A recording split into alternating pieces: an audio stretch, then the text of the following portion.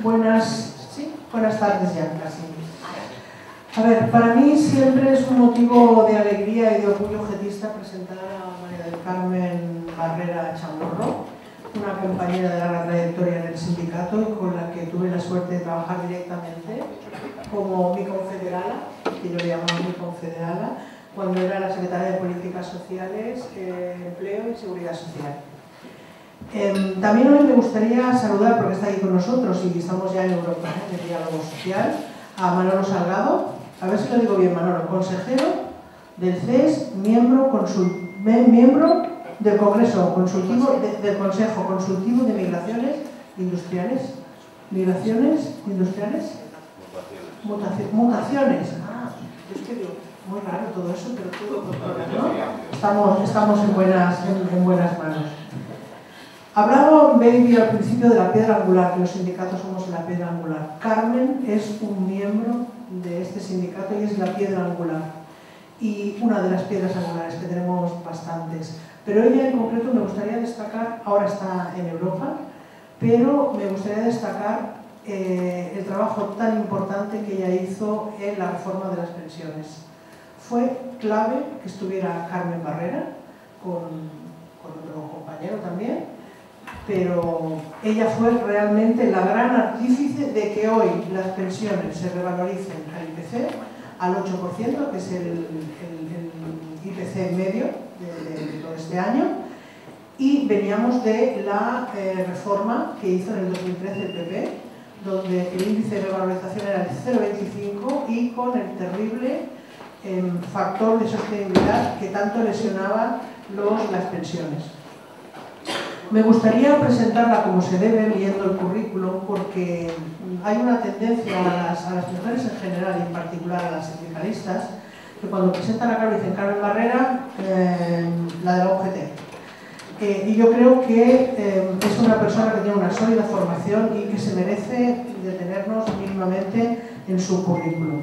Nació en Sevilla, no digo el año porque eso no... Y es funcionaria de carrera de correos. Se graduó en Relaciones Laborales y Recursos Humanos por la Universidad de Sevilla.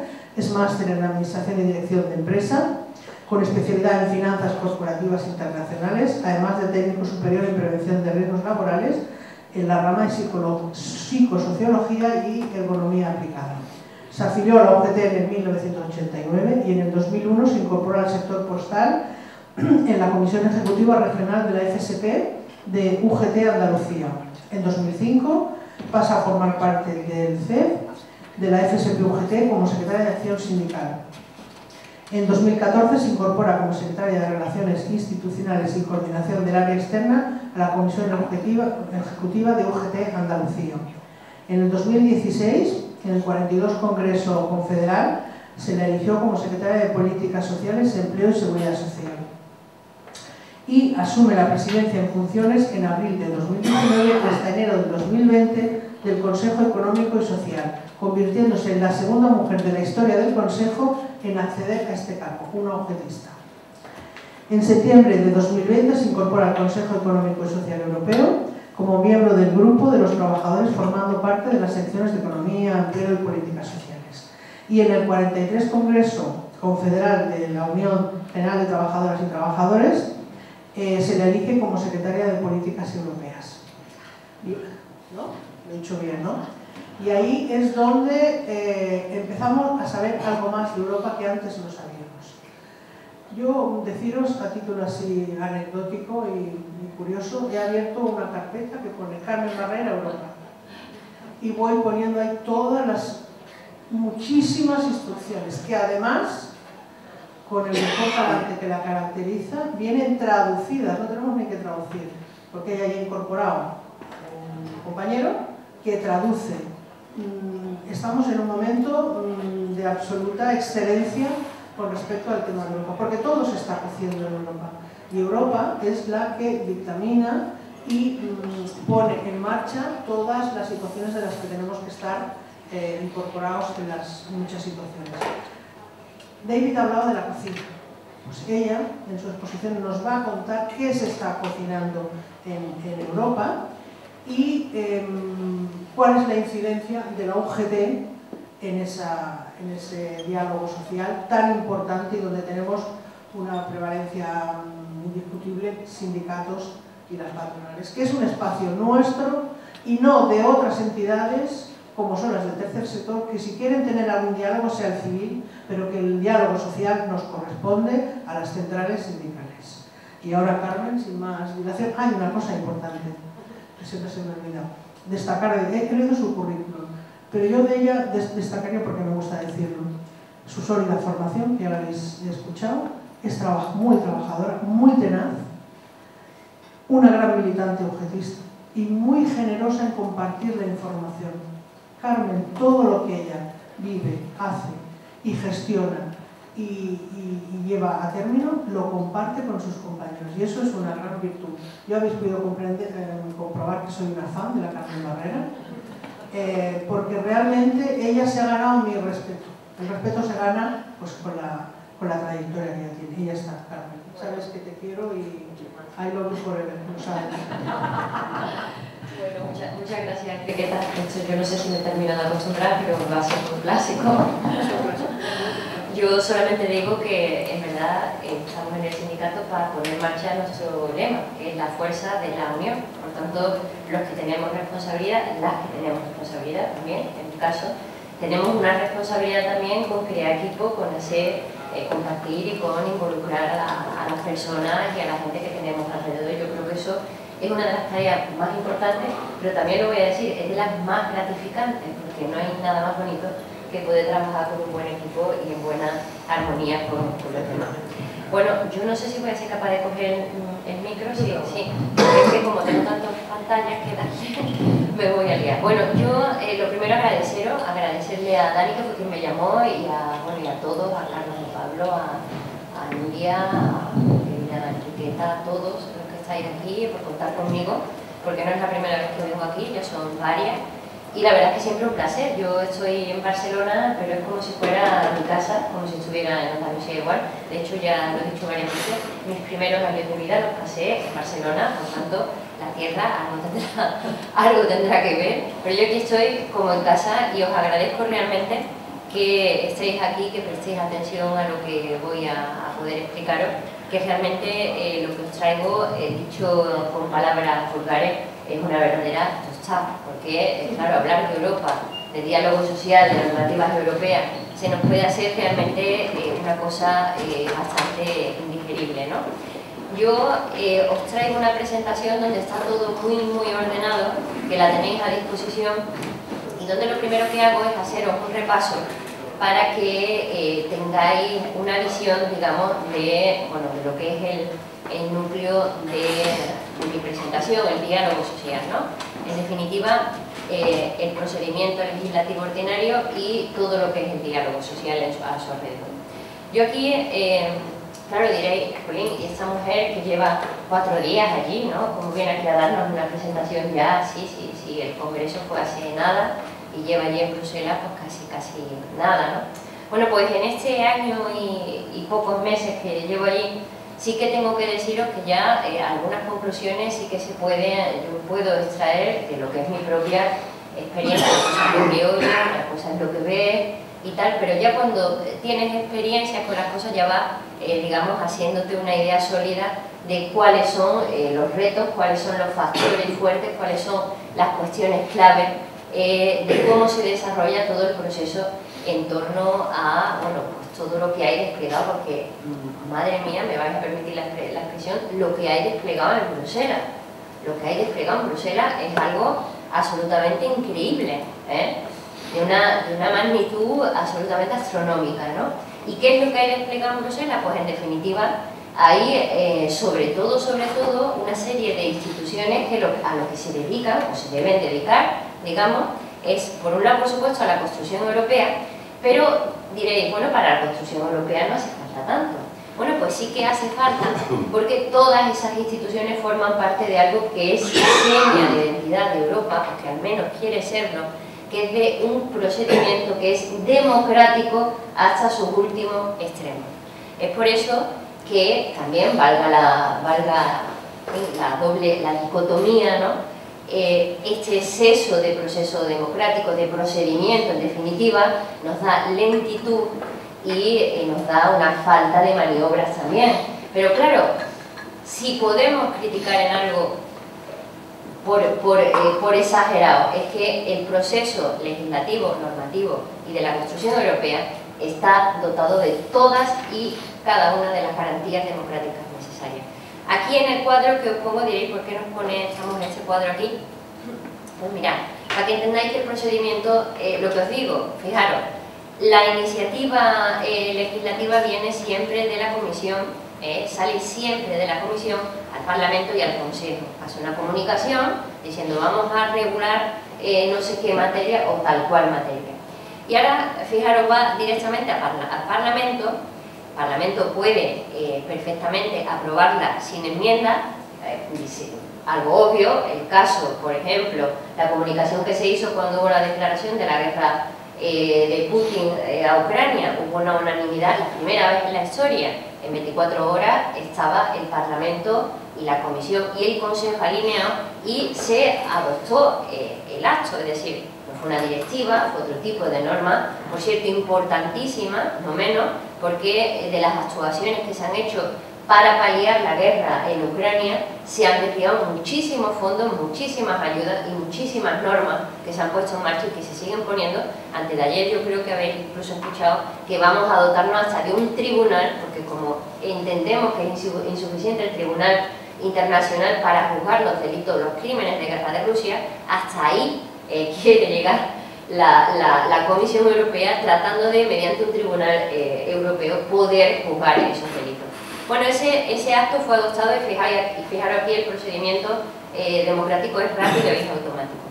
¿Qué pasa? Que eh, puede que el Parlamento ponga enmiendas a la propuesta de la Comisión, lógico, es lógico, el Parlamento es donde está representada toda la, la voluntad del pueblo, de toda la población europea, y entonces eso pasa, puede pasar lo mismo con el Consejo, y eso pasa a la segunda lectura, a una segunda lectura donde cada uno de los órganos puede proponer enmiendas de vuelta, es decir, el Parlamento y el Consejo y la Comisión pueden enmendar nuevamente, lo cual envía nuevamente las iniciativas de nuevo de vuelta a la Comisión. Es tanto como decirle, no sé si me entenderéis, el Parlamento no tiene iniciativa y es una de las graves faltas que tiene nuestro procedimiento y ahora precisamente con el en la iniciativa de, la Conferencia del Futuro de Europa es lo que más claramente ha salido, hay que dotar de iniciativa legislativa al Parlamento, no solo la Comisión y el Consejo deben de tenerla, el Parlamento, que es donde está toda la pluralidad, debe de tenerla también. Bueno, pues es tanto como decirle al Parlamento, bueno, eh, vale, tú me presentas esta iniciativa, pero yo tengo esta otra. Y el Parlamento entonces, cuando puede ejercer ese, papel de enviar al Consejo y a la Comisión una propuesta? Bueno, nuevamente, Consejo y Comisión pueden enmendar y finalmente, fijaros, todo termina en comités de conciliación, donde finalmente son unas negociaciones que en Bruselas son muy, eh, populares, digamos, eh, que se llaman los trílogos. Los trílogos quieren decir que, bueno, pues que negocian Parlamento, Consejo y Comisión en estos comités de conciliación, ¿eh? que tenéis aquí puesto en el diagrama, de forma que, bueno, pues finalmente o bien alcanzan un acuerdo y hay finalmente una, decisión, o finalmente pues no se llega a ningún acuerdo, algo que es posible, lo tenéis, lo tenéis aquí, actos no adoptados, fijaros, en, las dos, en, las dos, en los dos extremos tenéis que hay una, dos sobre tres posibilidades de que no se adopte una normativa que haya sido propuesta inicialmente por el Consejo o la Comisión desde luego, si no se adopta, también tenemos que hacer ese análisis, es porque el Parlamento, donde reside la voluntad popular, no ha llegado a estar muy de acuerdo con esa iniciativa. Por tanto, hay que eh, verlo todo con cierta perspectiva. Lo que sí que se ve claramente, y aquí eh, está claro en estos diagramas, es que es un proceso lento, largo, que exige de muchas deliberaciones, de muchos debates, porque imaginaron las normas cuando se inician en el Consejo, después van al Parlamento, van a, los consejos de empleo, en fin, a todos los consejos que hay creado, a las comisiones específicas y los debates y las deliberaciones son largas. Estos esquemas que os he puesto, ¿eh? estos eh, tres del proceso eh, que os pongo aquí, Os lo pongo también para introducir un poco algunas de las ideas, traigo muchísimas cosas, voy a ir un poco más rápido para que, os voy a pasar la, presentación y muchos de los datos y de las cuestiones que traigo yo creo que con que las consultéis eh, directamente pues no hará falta mucho más. Bueno, ¿por qué os pongo estos cuadros? Pues para que introducir una de las primeras reflexiones fundamentales de la que ya año y algo más de estar allí nosotros tenemos plena conciencia. En Europa, en Bruselas, que es la tierra de las oportunidades para muchos, el diálogo social no tiene las componentes clásicas que nosotros eh, tenemos asociados dentro de nuestro país, ni de nuestro, ni de casi ninguno, es decir, tiene connotaciones específicas. Y en esos cuadros veis, todos esos, todas, cada uno de esos diagramas que os he puesto es un hito por donde cada una de las comunicaciones, iniciativas, directivas tiene que pasar y cada uno de esos hitos da lugar a una posibilidad de incidencia.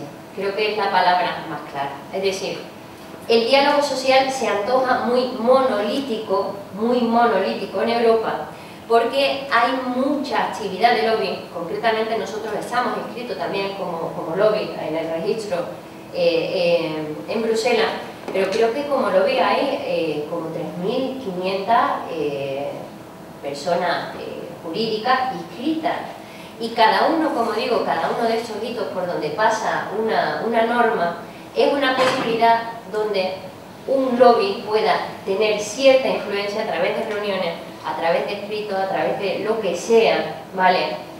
Y eh, Bruselas funciona de esta manera.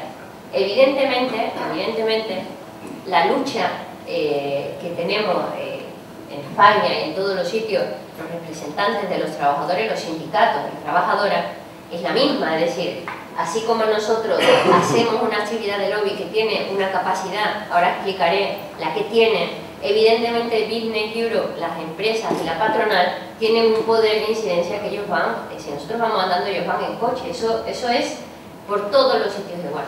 Os pongo un ejemplo, y para que veáis que no, no, es, eh, no es exagerado. La directiva de plataforma. Sabéis que se hizo la ley de plataforma española y esta Comisión Europea, que parece ser mucho más social después de la pandemia, ha adoptado una comunicación y han iniciado un proceso para hacer una directiva sobre el trabajo en plataforma. Luego os explicaré por todas las vicisitudes que va pasando la directiva. En principio nuestra valoración era positiva porque el texto se ajustaba bastante a lo que era la ley española, que era el precedente en toda Europa, después vino la italiana, pero el verdadero precedente ha sido la española. Pero claro, vino la presidencia francesa y ahí podría perfectamente haber salido la directiva de plataformas aprobada, porque ya llevaba, eh, había pasado casi todo, estos trámites que os he explicado aquí, casi todos los había pasado. Pero ¿qué pasó? Que Uber, hubo un escándalo en Francia tremendo, porque se filtraron a la prensa las creaciones que Uber hizo sobre el propio presidente y el gobierno francés para que durante la presidencia francesa no saliera eh, aprobada esa directiva. Casualidades de la vida, fijaros, pasó la presidencia francesa y no salió aprobada. De hecho, no ha salido aprobada, que podría haber sido por la presidencia francesa. Pero es que ha venido la presidencia checa y los checos son todavía más sensibles a las presiones y fijaros, estamos ahora mismo en un punto que ya ni siquiera os hablo de la presidencia del Consejo de la Unión, que son los checos, que son los franceses. Se vota, se tenía que haber votado ayer en el Parlamento la propuesta de la Comisión de Empleo, que es la comisión más favorable, la más favorable a lo que, a lo que es nuestra ley y nuestra iniciativa, y se ha prorrogado la votación al día 12 porque las presiones son insoportables, insoportables a un punto grosero de todo, no solo de Uber, sino de todas las plataformas con todos los diputados del Parlamento eh, Europeo. Esta es la realidad que tenemos. Esta es la realidad eh, que tenemos. O sea, se puede llegar a posponer una votación porque las posiciones no están suficientemente claras, esta es la explicación oficial. Os digo que eh, en Vox Populi, en Bruselas, se sabe cómo están actuando los lobbies entrando y saliendo del Parlamento. Por tanto, nosotros, conforme aterrizamos en Bruselas, entendimos que para eh, lograr algunos resultados y alguna eh, fin, algunos logros de los que nos planteamos nosotros como sindicatos, teníamos que tener una actuación mucho más eh, comprensiva, mucho más amplia que lo que es simplemente la, eh, la, la participación en un diálogo social formal. Es lo que nosotros llamamos diálogo social institucionalizado, ¿vale? Eh, voy a pasar rápido y simplemente deciros en esta, en esta eh, pequeña, pequeño reporte que os hago, es que, eh, bueno, está por supuesto reconocido en todos los tratados, en el Tratado de Fundación de la Unión Europea, y, y es una de las cuestiones que está incorporada al espíritu de fundación del Tratado de Roma, de, de lo que es la Unión, la capacidad de fomentar el diálogo y la política social eh, en Europa a través del diálogo social eh, tuvo que ser, fijaros, el Tratado de Roma del 57, tuvo que ser en 85 con Jacques Delors como presidente cuando se impulsara verdaderamente acuerdos de diálogo social. No en vano el edificio donde nosotros estamos instalados, el Comité Económico y Social, se llama el edificio Jacques Delors, y es eh, el, edificio del Comité Económico y Social que alberga el diálogo social institucionalizado. ¿no? Y la verdad es que, aunque después de esto pues, ha habido una serie de ha habido una serie de acuerdos que se han ido alcanzando, acuerdos marcos, etcétera, tenemos un problema, y hago aquí el inciso, y es que eh, la cuestión de los acuerdos marcos que se alcancen por diálogo social europeo, el problema es que posteriormente la Comisión tiene aún la potestad de decidir no trasladar esos acuerdos marcos a directiva. Es decir, puede trasladarlo, puede no trasladarlo. Y eh, otra de, de, las ideas que yo quería eh, también trasladaros hoy es que, em, a ver, nosotros en la construcción europea, eh, a mí me parece muy bien, acabamos de tener la presentación del compañero extraordinaria sobre los objetivos de desarrollo eh, sostenible, eh, tenemos, en fin, tenemos muchísimas declaraciones que hablan de esa Europa social, tenemos muchísimos acuerdos, el de Ámsterdam, el de Lisboa, el de Roma, los tratados de fundación, tenemos muchísima, muchísima literatura que habla pues, de esa visión social que tiene que tener Europa, de esa construcción de la Europa social, del diálogo social como la herramienta eh, matriz para incorporar la visión de trabajadores y trabajadoras a esa construcción, de esa consulta incluso obligatoria a, a los agentes sociales cuando se vaya a formular una política social, pero realmente lo que necesitamos en Europa para esa construcción social y para todo, para, para que de verdad eh, la Europa social sea una realidad, son, eh, me encanta ahí, tuvimos una reunión hace poco con la OIT y nos lo decía la OIT, fijaros, clarísimo, necesitamos normas, necesitamos normas, ya está bien de declaraciones, de principios, de plan de acción, de tararín y de tararán, necesitamos normas, nos lo decía la OIT, por favor, tenéis que pedirle a la Comisión que haga norma obligatoria, jurídicamente exigible en todo el territorio de la Unión. Es que es eso, es que llevamos muchos, muchos años hablando de principios, de buenas voluntades, de buenas intenciones, pero cuando tiene que decidir algo la Comisión o el Consejo, deciden luego siempre a favor de las empresas porque si no hay una norma que les obligue, lo van a seguir haciendo ad infinitum. Porque os lo he explicado al principio, los lobbies, el poder económico y el dinero, si en España sabemos que nadie quiere molestar a las empresas, en Europa es así y mucho más. Por tanto, nosotros entendimos, y eso ya os digo de experiencia, que, eh, bueno, pues que necesitamos, en toda nuestra actuación necesitamos incidir primero en que se hagan normas de todo lo que nos interesa, en que se hagan normas de todo lo que se interesa, nos interesa, y segundo, en que esas normas lleven nuestros principios, los principios que nos identifican como sindicatos. ¿Y creéis vosotros que tenemos alguna otra forma de hacerlo que no sea mediante nuestra voz directa? Porque es que, eh, bueno, ahora lo voy a contar también, es que tenemos ya a estas alturas experiencia donde os puedo decir que la voz sindical no es unánime a nivel europeo. Hoy se habla aquí de Suecia y os voy a hablar yo muy bien de lo que supone, sindicalmente hablando, Suecia, Noruega, Dinamarca. No hay unanimidad en la voz sindical.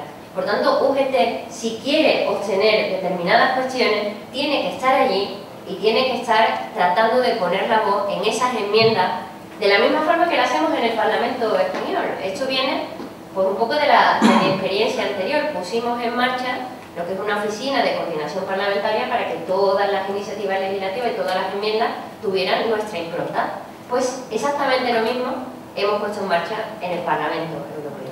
¿Vale? Claro, allí es más complejo. allí, allí lo estáis viendo, es mucho más complejo porque eh, evidentemente habéis visto el, el, cuadro del proceso legislativo, es mucho más complicado, es mucho más enrevesado y, pero también tenemos alguna ventaja que ahora eh, os voy a contar. No todo, no todo va a ser negativo. A ver, eh, bueno, el diálogo social lo primero que os quede claro que es muy reciente, es muy reciente es que el primer acuerdo es del 92, casi las Olimpiadas o, la, la, Exposición Universal de, de, Sevilla, o sea, casi antes de ayer, lo recordamos todo. Y eh, la verdad es que además tuvimos la mala suerte de que a partir de 2008, a partir de 2008, con la crisis financiera, pues como sabéis, el diálogo social se debilitó de manera tremenda. Después, en 2015, ya con, eh, con Juncker, se trató de impulsar a partir de 2015, pero realmente os ponía aquí el, el cuadro del Pilar Europeo de Derechos Sociales, porque realmente en, en el 17 y fruto de esa conciencia del debilitamiento del diálogo social y de todo lo social en definitiva, se puso en marcha el Pilar Europeo de Derechos Sociales. Pero bueno, se puso en marcha, volvemos a lo de antes, como una cuestión declarativa. Porque claro, eh, yo quiero la paz en el mundo, ¿no? Y que no haya guerra, pero usted tiene que poner medios, financiación y normas eh, obligatorias para que eso se logre, ¿no? Fijaros, casualidad de la vida ha tenido que ser el, la pandemia eh, de la COVID la que diera eh, lugar a que, eh, bueno, pues después de la pandemia, justo casi en la recuperación, en esa conciencia de que sabéis no se podía atacar la crisis de la pandemia como la crisis financiera, esta necesidad de impulsar lo social, fijaros, el plan de acción del, Pilar Europeo de Derechos Sociales es de enero del 21, casualidades de la vida. El plan de acción lo que viene a decir es medidas concretas para poner en marcha lo que son los 20 principios del Pilar Europeo de Derechos Sociales. Y como os digo, fijaros qué casualidad que ha tenido que venir pues, eh, la pandemia para que esto eh, sea una realidad. ¿no? En definitiva, y diréis, bueno, y se ha hecho el plan de acción y, y, qué, ¿no? Porque ¿vale? hicieron implantación el año pasado y que ha supuesto en cuanto a la puesta en marcha del Pilar Europeo de Derechos Sociales. Bueno, pues fruto de, esa, de ese plan de acción, algo que es importantísimo, lo tenéis aquí en la, en la pantalla, que es la directiva sobre salario mínimo en Europa. Eh, mira, esto eh, es algo, es un hito incontestable. Es decir, esto hace unos años, antes de la pandemia, esto era imposible de pensar que iba a ocurrir así, que iba a llegar eh, este momento en que efectivamente tendríamos eh, una directiva que propondría un salario mínimo para toda Europa. Sabéis que hay países que históricamente se han negado a esa realidad. Y, y bueno, eh, ¿cómo ha sido eso? Pues, y aquí es donde entra el papel, el papel de la web ¿vale? Voy a adelantar un poco porque si no, sí, voy a ir aquí. Aquí es donde entra el papel del hombre, ¿vale? Bueno, ¿cómo hemos, cómo hemos nosotros eh, tratado de enfocar nuestro rol allí de actor en la negociación eh, en el diálogo social institucionalizado en Europa, de lobistas en definitiva, lobistas que en, en, Europa y en Bruselas no tienen ninguna connotación negativa, a diferencia de lo que sabéis que ocurre en España, toda esa actividad está perfectamente regulada, eso no quiere decir que haya eh, pues quienes eh, la puedan ejercer sin de alguna forma poco clara o opaca, ¿no? Eso evidentemente nosotros no tenemos fondos para pagar a nadie, por tanto estamos libres ¿no? de, esa, de, esa, sospecha, pero no es el caso de todo el mundo. Bueno, nosotros lo primero es que eh, para poder tener una actividad de lobby, para poder tener una cierta influencia en Parlamento, en, la, en, en nuestro propio Consejo, en todos los ámbitos, eh, hemos tenido que abanderar un tema que nos identifique, evidentemente, hemos tenido que tratar de hacernos eh, conocidos por algo que, la, que quien nos recibe, quien nos ve, quien habla con nosotros, con quien nos reunimos, diga, pues aquí están los de la UGT que son los tal, tal y tal y que piden tal, exactamente. Entonces, nosotros eh, lo que hemos tratado es de, en este sentido, eh, cuando nosotros hemos llegado a estar en marcha la conferencia sobre el futuro de Europa, y nosotros hemos tratado de poner ahí nuestras aportaciones. Nuestra aportación primera y más importante, como sabéis, es la, eh, bueno, el abanderar la reducción de jornada laboral a 32 horas semanales. Esa eh, creo que ha sido, bueno, creo que a estas alturas todo el mundo nos conoce por eso. Las 32 horas. Las 32, efectivamente, los de las 32 horas, UGT. ¿Por qué? Porque fijaros, investigamos un poco y desde 1995 no se hablaba de reducción de jornada en el Parlamento. Yo no estoy de acuerdo con lo que se ha dicho esta mañana aquí por el primer ponente, y ahora aprovecho para decirlo, porque dice que los sindicatos hemos dejado de, eh, digo, de, reivindicar la reducción de jornada, y no es cierto en absoluto. Es que en, los 80 y con la Thatcher y con todo aquello hubo un neoliberalismo de la economía en general que sabéis que eh, también se esparció por el norte de Europa con aquella cosa de la flexiseguridad que todos conoceremos y todo nos sonará, que en definitiva lo que ha supuesto es mayores exigencias de flexibilidad a los trabajadores, mayor número de jornadas eh, parciales a la carta y mayor número de horas extras fraudulentas. Eso lo sabemos todos, ¿no? Y esas corrientes políticas fuertes que ha habido, nosotros hemos tenido que ir a paliar los resultados.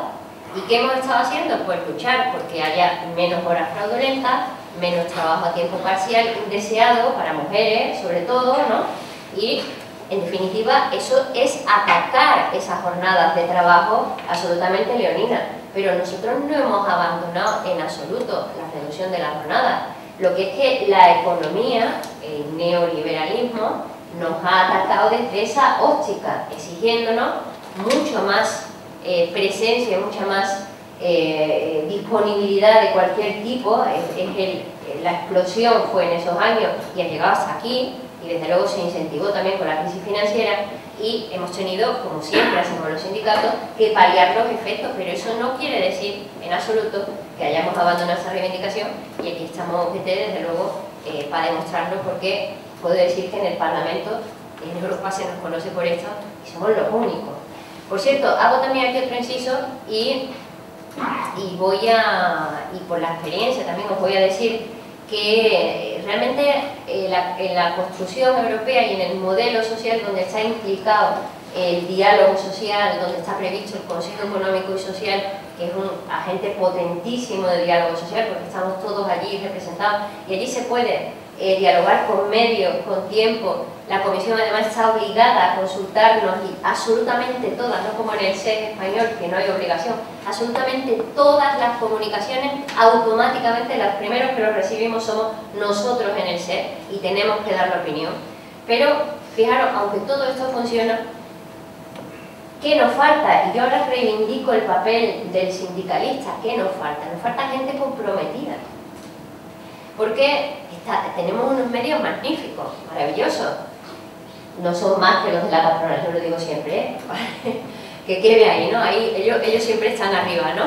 Pero tenemos medios, tenemos cauces, estamos reconocidos, tenemos aquí, en la presentación lo vais a ver, en todos los sitios donde legal y formalmente estamos reconocidos. Pero ¿qué nos falta? Lo que tenemos en la OGT, gente comprometida. Ya se nos conoce al equipo de, OGT en Bruselas por eso, porque estamos comprometidos.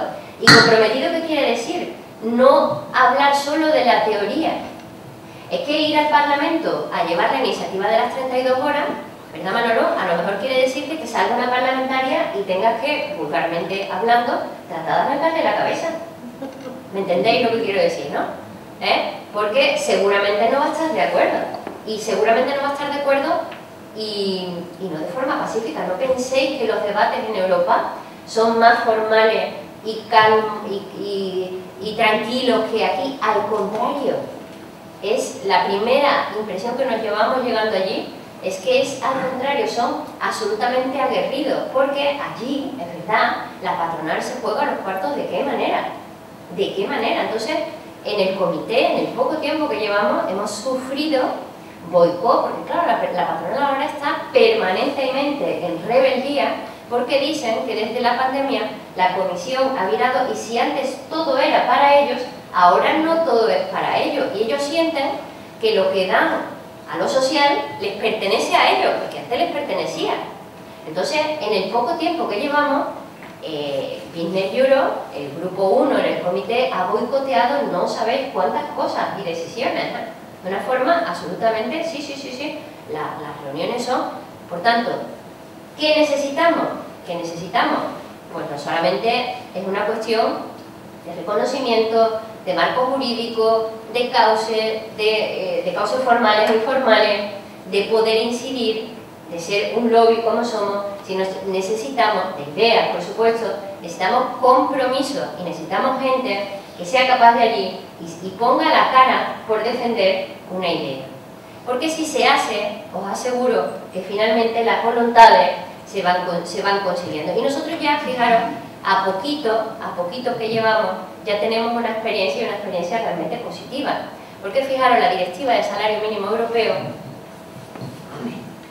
voy a pasar, la directiva que como os digo es un hito,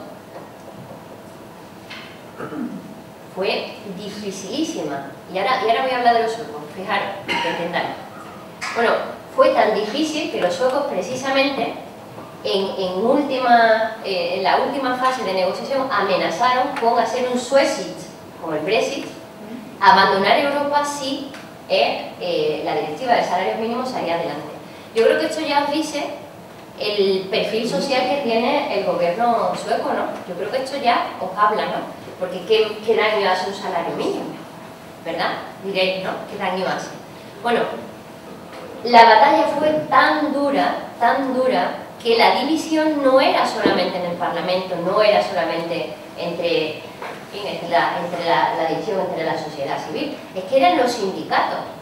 Es que la SES, cuando iba a negociar al Parlamento, no podía defender abierta y aguerridamente la directiva porque tenía todo el bloque nórdico de sindicatos en contra de esta directiva.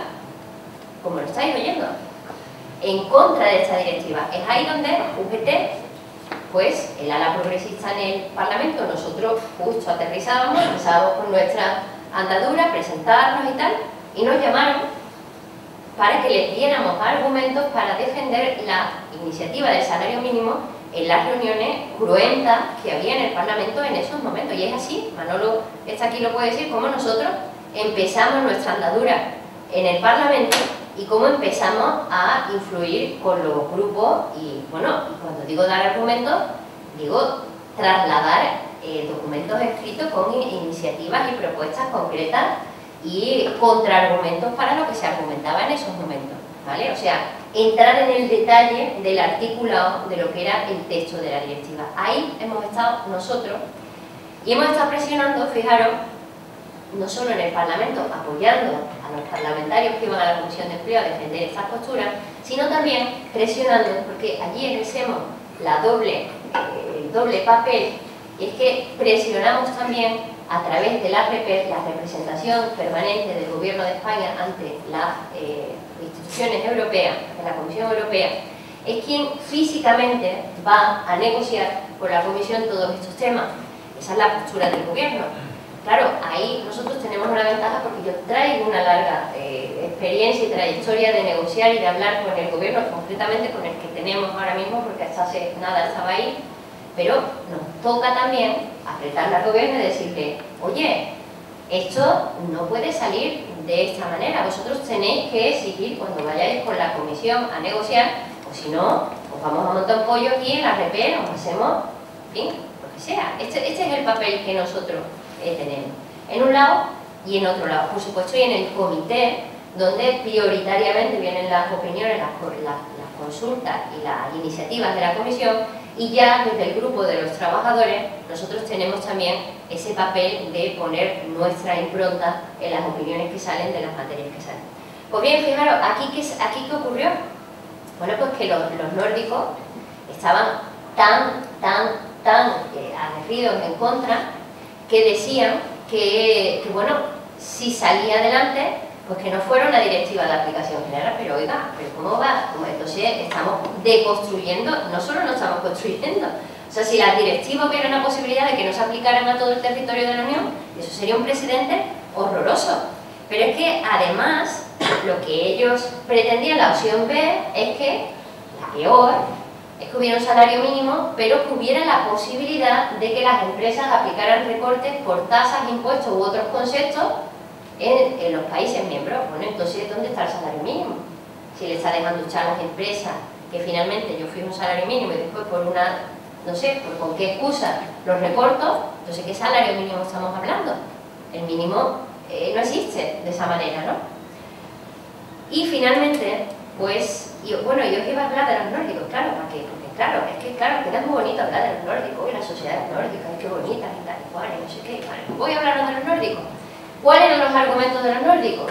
Porque decían que ellos en sus países tienen, la negociación colectiva cubre a más del 80, al 80, no más del 80, al 80% de las personas trabajadoras de esos países, qué bonito, qué bien, al 80%, ole. Y decíamos nosotros, ¿y el otro 20? ¿Y el otro 20 qué pasa? ¿Y sabéis qué pasa con el otro 20? Pues el otro 20 resulta que es que ni a los propios sindicatos son personas tan precarias que ni a los propios sindicatos les interesa. Porque una cosa que no cuenta nadie es que en estos países toda esta negociación de salario, todo el sistema de empleo que nosotros conocemos aquí, el SEPE, la negociación de salarios tal como la conocemos, por la tripartita para fijar el salario mínimo con el gobierno, no existe, porque está privatizada. Y por eso los países se oponían, porque para ellos un salario mínimo supone recentralizar una preocupación que tenían descentralizada ya. Es que en la mesa de fijación, fijaros, en la mesa de fijación de los salarios se sienta la patronal aseguradora que es la que paga los subsidios. Ah, Qué cosas, ¿eh? Y claro, ni a esa patronal, ni al gobierno, ni a los sindicatos les interesa que se hable de hecho porque supondría tratar de ese 20% del que nadie quiere saber. Por cierto, yo hago aquí ahora un inciso.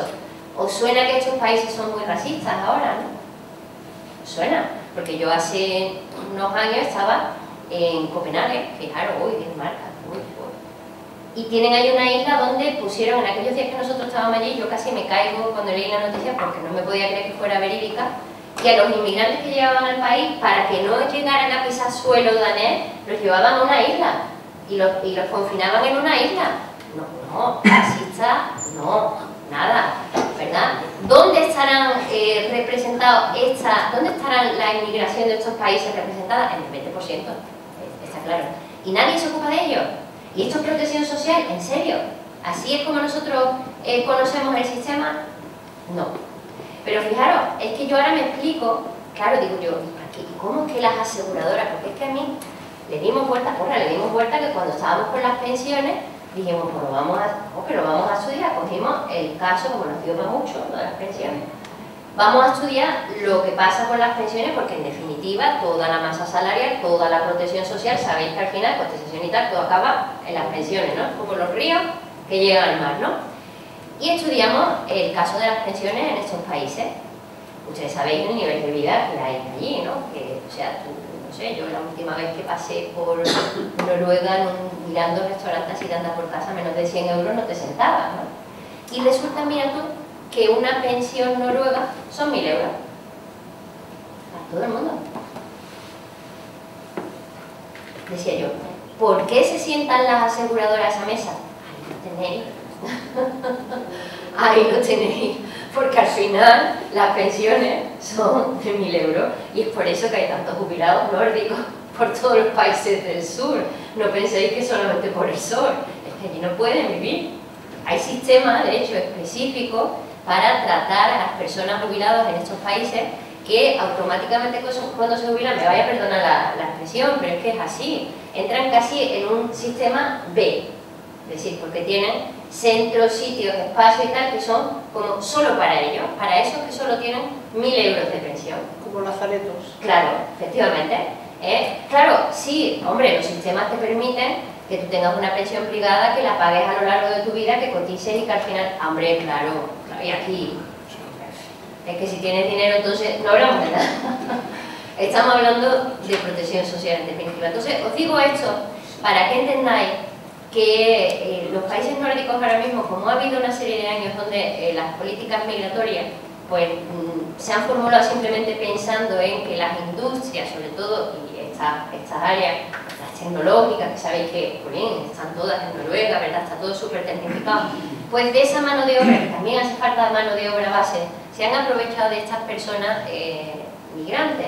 Cuando ya no les ha hecho falta, cuando ya han dicho, uy, ya no nos cabe ni una más, cierro fronteras y encima los excluyo de una forma eh, absolutamente bonita. Claro, ahora viene Europa a, tocarle las narices con la imposición de directivas como esta, que es un hito, y que de verdad, de verdad creo que ha sido posible que salgan las condiciones que están, porque el gobierno, fijaros, tuvimos la suerte, como lo vamos siguiendo, como al final pues tenemos contacto en el Parlamento, tenemos contacto por todos los lados, porque por todos los lados nos movemos y tal, pues hubo un momento donde el gobierno español tenía la clave. Es decir, si el gobierno español eh, quería, había acuerdo, y si el gobierno español no, quería, pues no había acuerdo. Por tanto, pudo forzar la máquina, ¿vale?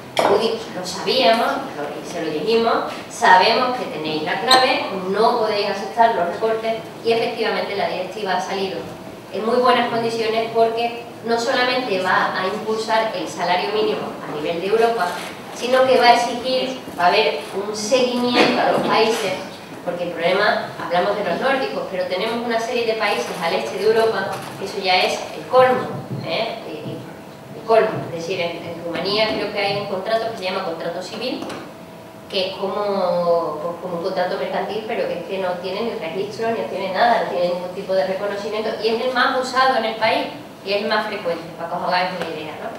Por tanto, esta directiva es muy positiva, va a permitir que se haga una evaluación al, cabo de dos años de cómo ha sido la implantación, pero no se ha terminado aquí las actuaciones de, parte de la Comisión, porque lo que sí que os digo es que para ponerla en marcha va a ser muy difícil y va a tener que hacerse muchas más eh, actuaciones y muchas más eh, prerrogativas desde, desde la Comisión para que se pongan en marcha. ¿no?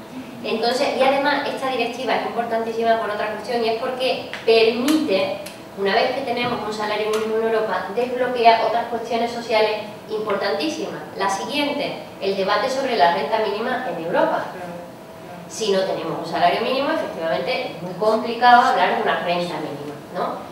Y esto, eh, finalmente, pues eh, hemos conseguido que ya ahí del Consejo hay una eh, comunicación que se ha hecho en este trimestre reforzada y se va a empezar a hablar de la renta mínima.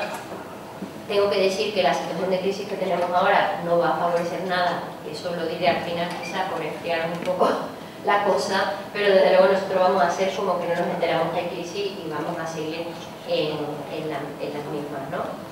Y bueno, y en cuanto a iniciativas, y voy a ir terminando porque llevo muchísimo, llevo muchísimo hablando y no paro. Eh, Te has unido mucho, bueno, este año y medio, ¿eh? Sí, no, no ¿Habéis entendido de que es una persona muy trabajadora y muy tenaz?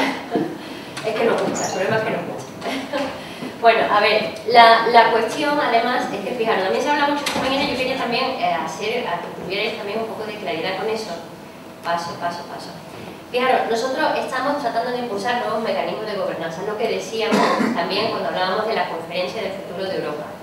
Nosotros eh, queremos que, eh, a, raíz de las conclusiones, donde una de las más importantes es que hay que modificar el Tratado de Fundación de la Unión para dar iniciativa legislativa al Parlamento, pero para también otras cuestiones, pero ya se están eh, poniendo piedras sobre en esa línea. Fijaros, nosotros queremos eh, pues, que los mecanismos de gobernanza sean más ágiles, que permitan sobre todo una mayor participación a los agentes sociales, que es nuestro papel, evidentemente, porque queremos eh, una Europa fuerte, solidaria, competitiva y sobre todo, sobre todo, sobre todo que haga bandera del pilar social, porque, ah, esa era, esa era, esa era otra, sí.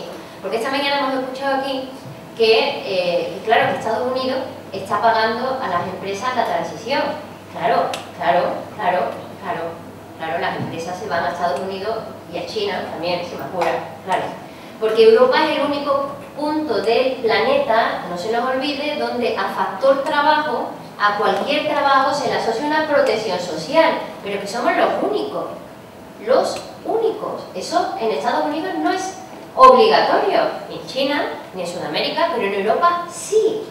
Y fijaros, tan así es, tanta conciencia hay, que ya, o hizo la comisión una comunicación, por cierto, donde fui yo precisamente la ponente, sobre impulsar el trabajo decente en el mundo, por lo que es lo mismo, acabar con el trabajo forzoso, y no contenta con esa comunicación, hace como tres semanas que se ha puesto, se ha acelerado la puesta en marcha, y ahora mismo está prohibida la entrada en Europa de cualquier producto o manufactura que tenga total o parcialmente participación de trabajo forzoso o trabajo infantil y es el único territorio en el planeta.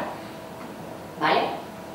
O sea, ¿que no paga la transición Europa a las empresas? Sí, sí que paga. El problema es que paga, el problema es que paga y luego permite que las empresas emigren.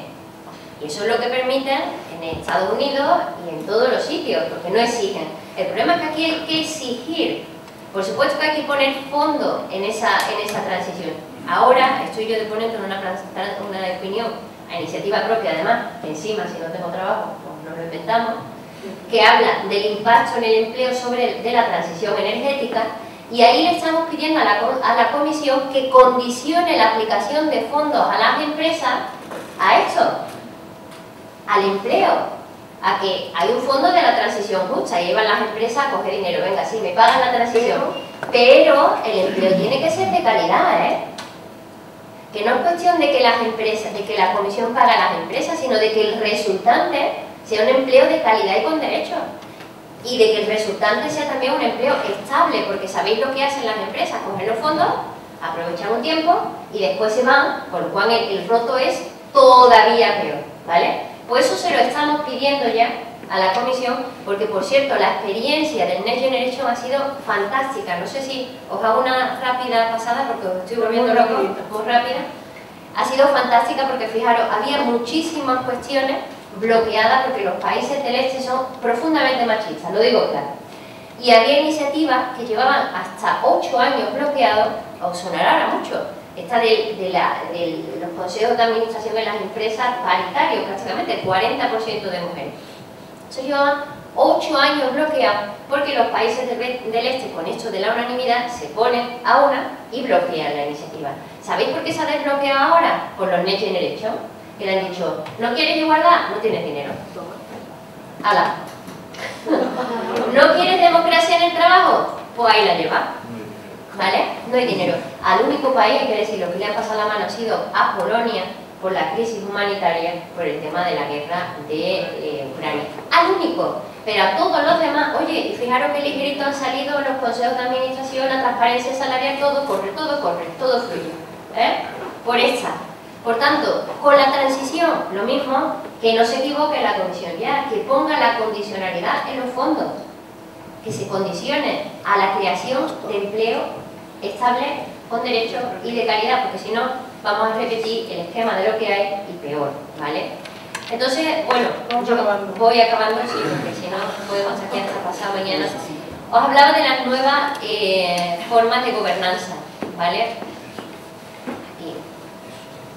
Vamos a ver. Tenemos, bueno, la, nueva forma de gobernanza. Mira, eh, se, están, ah, se están estableciendo plataformas yo, también participo, me han elegido para participar, participado en una plataforma para acabar contra el sinhogarismo, el fenómeno de las personas sin techo en Europa antes de 2030 y, nosotros, pues esa plataforma elabora su plan de acción y ese plan de acción que hacemos en la plataforma donde estoy yo, están ONG y están asociaciones que representan a, este, a este fenómeno a nivel de Europa, hace su plan de acción y el plan de acción que es una norma que aprueba la Comisión es una nueva forma de gobernanza más ágil, ¿verdad?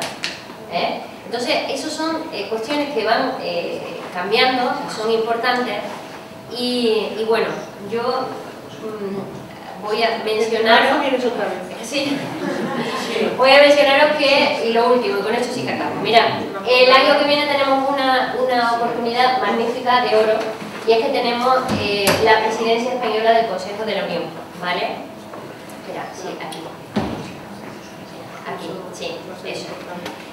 La, última presidencia realmente social y ha sido muy muy celebrada, eso que es un país, pequeño, que es Portugal, ha sido muy celebrada porque la cumbre de Oporto y el compromiso de Oporto han sido eh, impulsores de puntos concretos, de hecho la plataforma en la que yo soy se crea en esa cumbre de Oporto, por ejemplo, de puntos clave del pilar social, eh, del pilar europeo de derechos sociales, ¿vale?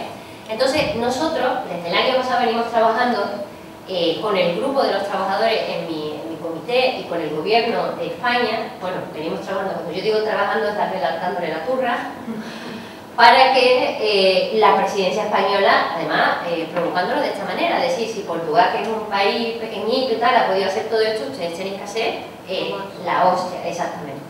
Entonces, nosotros con ellos, estarán entre el 1 de julio y el 31 de diciembre, el grupo nuestro de los trabajadores y organizamos, lo, organizamos nosotros desde OGT, comisiones también, pero fundamentalmente nosotros, para que pudieran tener interlocución con todos los ministerios, con el Ministerio, eh, la Secretaría de Estado para la Unión Europea, Ministerio de Empleo, eh, de Seguridad Social, Parlamento, con todos los agentes para hacer una especie de hoja de ruta que fuera muy social, muy social no solo, muy social de los trabajadores, porque estamos hablando del grupo de los trabajadores del SES, ellos somos todos sindicalistas, ¿vale? Y para tener esa agenda con objetivos concretos, ¿no? Entonces aquí tenéis las prioridades, ¿vale? Donde, por supuesto, nosotros hemos incorporado nuestro tema, evidentemente, la jornada de las 32 horas, la reducción de la jornada, y por supuesto la renta básica. La renta básica la llevamos eh, por todos los sitios porque es que eso eh, tiene que, ponerse si queremos acabar con la pobreza en Europa, tiene que haber una renta mínima, no hay Entonces, eh, también por supuesto las plataformas digitales tienen que salir durante su presidencia, pero como digo, si no se la carga la presidencia checa, que ahí estamos luchando, pero la presidencia checa viene con un objetivo de cargarse la directiva sea, Francia fue más sutil, la dejó viva y pasó de largo, pero esto es que quieren cargarse directamente. ¿eh? Hemos estado... Bueno, entonces, em, lo, que, os iba a decir en cuanto a los objetivos inmediatos con ellos, pues una cumbre social, por supuesto, le hemos dicho, por España que durante la crisis hemos llevado tantísimos acuerdos de diálogo social, ¿qué tiene que vender la presidencia española durante su, su mandato?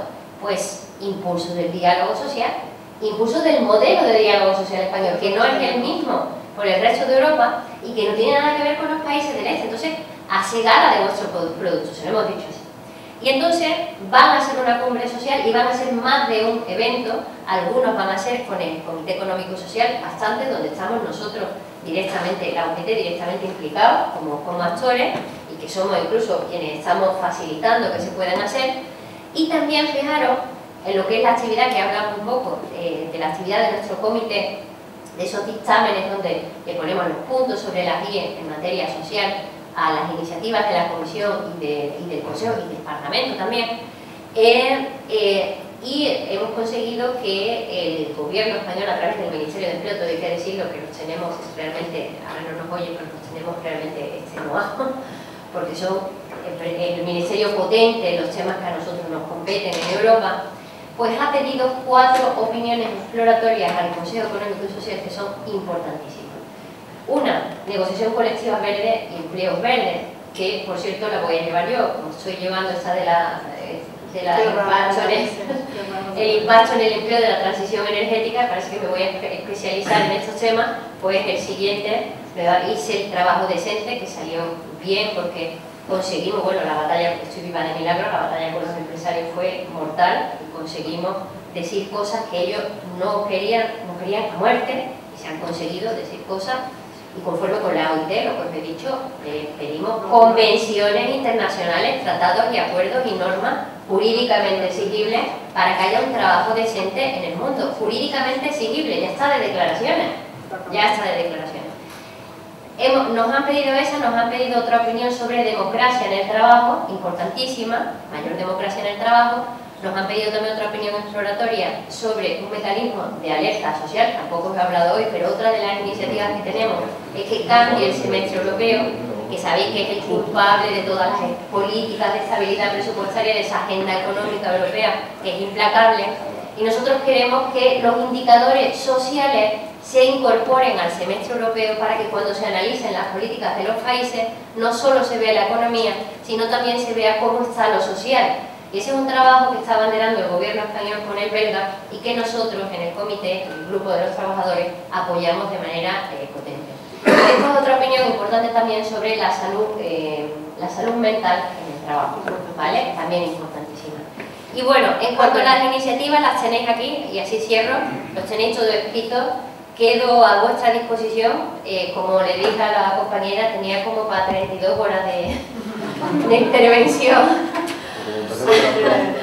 Así que la presentación la tenéis para vosotros, es un trabajo, yo solamente deciros que es un trabajo emocionante, que tengo la suerte además de tener compañeros extraordinarios, no porque esté hoy aquí delante Manolo, pero me siento muy bien acompañada, muy bien representada.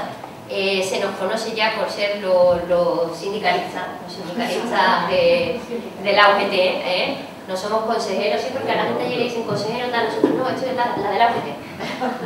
¿Eh? Y, y, la verdad es que... Está bien identificada, sí, la, de la UGT, la de la UGT. Y la verdad es que es un gusto el poder, eh, bueno, no sé vosotros cómo lo veréis, pero yo que vengo de la sesión sindical, de repente que yo pueda exigir a nivel europeo que se escriba algo y que eso salga publicado en el boletín oficial de las comunidades europeas. Pues realmente es, Yo creo que lo entendéis todos, ¿no? Muchas gracias. muchísimas, muchísimas gracias y ya veis que cuando os he dicho que era una persona muy tenaz, es, es que ella es, es trabajo, es, es un valor seguro siempre para, para nuestra organización toda tu exposición muy interesante, muy reveladora y todo el procedimiento legislativo para nosotros nos, llega como, como, lejos, pero que es complejo y agradeceros todo el trabajo, tanto a Manolo como a ti, que estáis haciendo porque creo que es un tema muy importante y que tiene que ver con la gran militancia y las ganas que tenéis de que la justicia social prospere. Entonces, eso es lo que, lo que os avala y desde aquí muchísimas gracias. Yo no sé si, por eso veis que soy una fan, es que, es que da igual lo que toque. Yo cuando mandaron a Europa, nos tengo una anécdota. Me conecto un día y digo, a ver, a ver qué hace esta mujer allí. Yo no sabía de... En, una, en el francés, en otra en inglés, digo, pero, pero, ¿y esto? Una máquina, una máquina, o sea, la, la lanzan allí y pensé, bueno, en fin, bueno, es una persona muy, muy competente, ¿no? Eh, no sé si tenemos tiempo a ver la organización, eh, Sule, justitos. justitos, si tenéis alguna como no, bueno, Es que yo soy muy fan de las directivas europeas. Desde hace ya unos cuantos años creo que es una lectura casi obligatoria para cualquier delegada sindical. Casi el 90% de la legislación que se aprueba en España procede directamente de directivas europeas. Pero, ahora viene el pero, a la hora de transponer las directivas europeas a, los marcos de, de las legislaciones de cada país, creo que caemos en el fallo de no vigilar y velar que ello se cumpla. ¿no? Y voy a poner un ejemplo que abro un melón, que creo que lo abro y lo voy a cerrar al mismo tiempo porque si empezamos a hablar de este melón, nos podemos tirar aquí dos semanas.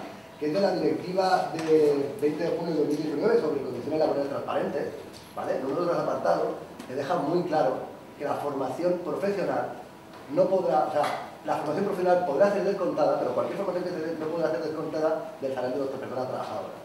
Llegamos a España, vemos la nueva ley de formación profesional aplicada desde el 30 de marzo, si no me equivoco, y nos meten, como siempre, el tema de la prevención de riesgos laborales, que como todos sabremos o conoceremos, debería de ser coste específico de las empresas. Entonces, podríamos entrar a debatir si las medianas y pequeñas empresas tendrían que tener alguna subvención para formar en prevención y evitar así accidentes laborales, que yo estaría totalmente de acuerdo. Pero lo que no entiendo es cómo desde UGT no hacemos un trabajo para, que seguramente lo está haciendo, ¿eh? lo digo de una manera muy abstracta, para conseguir que todos aquellos fondos ingentes de dinero público que sale de nuestras nóminas, que debería de ser, y cito textualmente, para aumentar el nivel productivo del país y mantener los empleos de calidad y estable, se acabe utilizando para que las empresas ahorren aquel dinero que tendrían que invertir en políticas de salud y prevención, incluida la formación en prevención. Entonces, estoy enamorado de las directivas europeas, pero creo que deberíamos de ser todavía mucho más garante a la hora del redactado estar encima y decir no, no, no, no, no, no. Vamos a, vamos a acabar con todos aquellos pequeños problemas, que son tan pequeños, que hablamos de una cantidad de dinero insigente que se gasta en prevención de riesgos laborales subiendo el beneficio de las empresas que no gastan en ello ni, se ni se la creen. Porque cuando, y esto creo que todos tenemos claro que a las empresarias y empresarios, cuando se les toca el bolsillo, cuando de, verdad se cree la política, ¿no? el ejemplo de la igualdad. Entonces, me encanta, soy un apasionado del trabajo que hacéis desde UGT a nivel europeo, leo todo lo que sale, aunque me cueste no dormir, pero luego cuando llega a España, da igual que Enriqueta decía el tema de hostia, multiorgasmo, al estar allí, poder hablar, interceder, llega aquí es como bajona total. Es como de repente se te corta la barri guay que te ponen a los chichos. es, que, es, que, es que, además eh, Europa tiene especial incidencia sobre la formación porque haciendo un repaso de la, de la, de la de salario mínimo, por ejemplo, vuelve a mencionar la formación.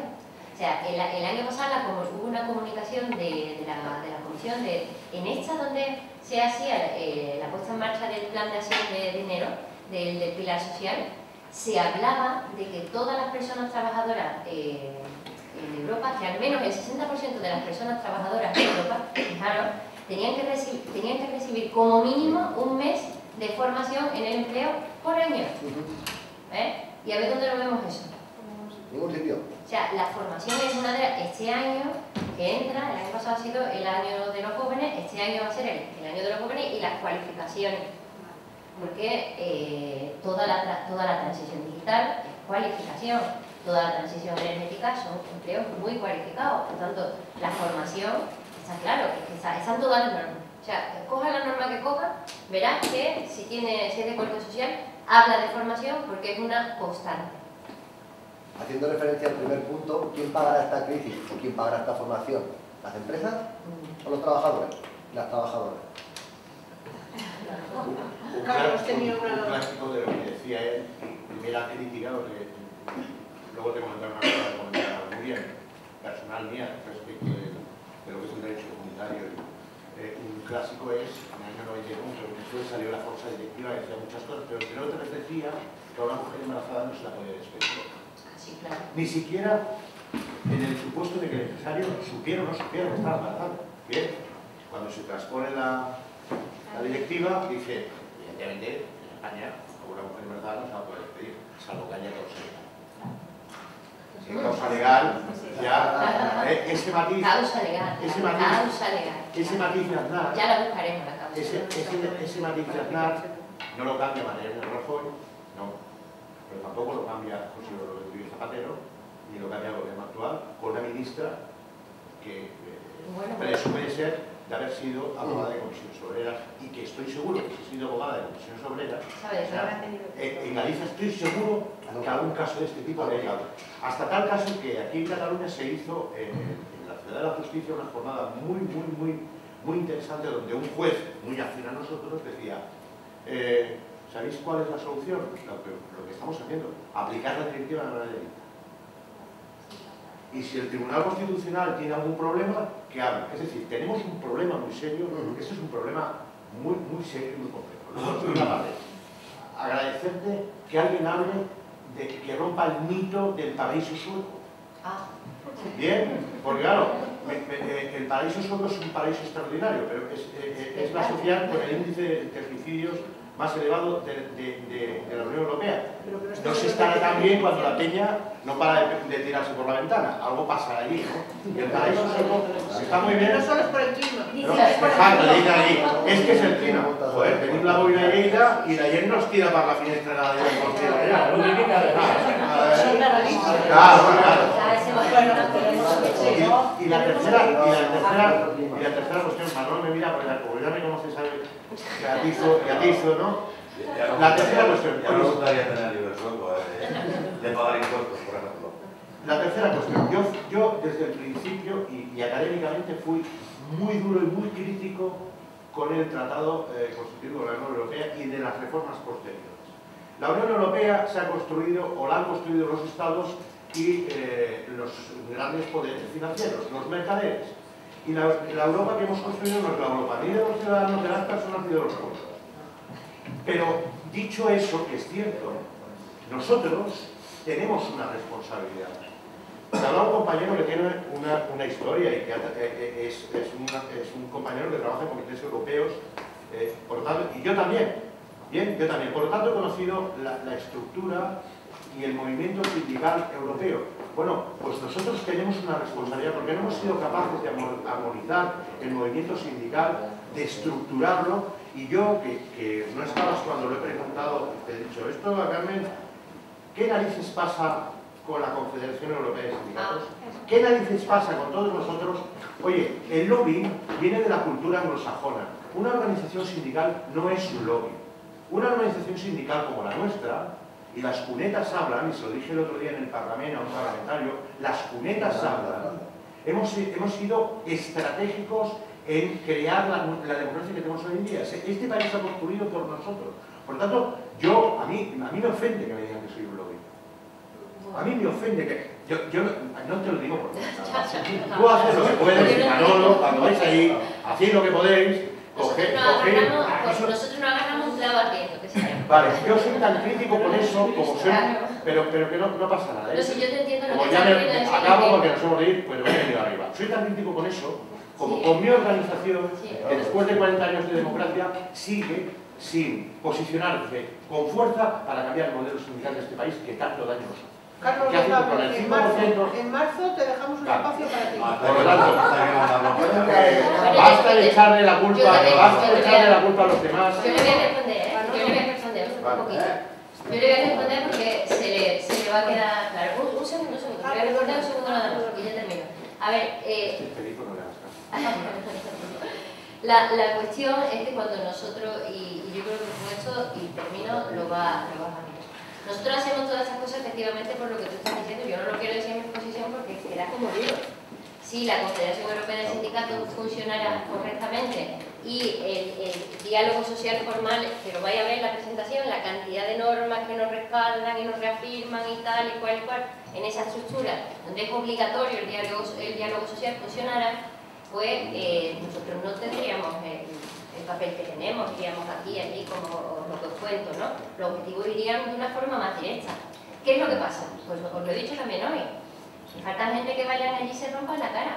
Es que cuando llegamos al Parlamento, cuando nos llamaron por el tema de la directiva del salario mínimo, nos dijeron que quien hasta ahora presidía la SES, que ya no está, y ahora está en la SSI, de, secretario general de la SSI, del congreso ahora que ha habido en Melbourne, pues que no lo habían visto eh, nunca allí en el, en el Parlamento partiéndose la cara por una iniciativa. ¿Y cómo creen ustedes que se consiguen las cosas? A ver, ¿cómo?